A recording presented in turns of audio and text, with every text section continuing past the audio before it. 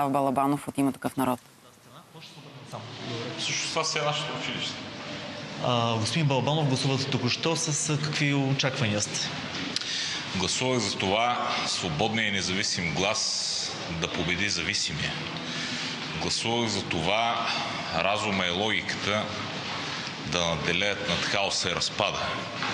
Гласувах за това България най-после да има ясна стабилност, ясно мнозинство и ясна позиция в Европа.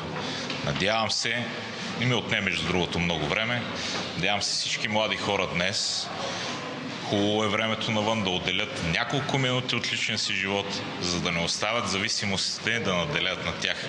Оптимист ли сте за състава на правителството с изборите?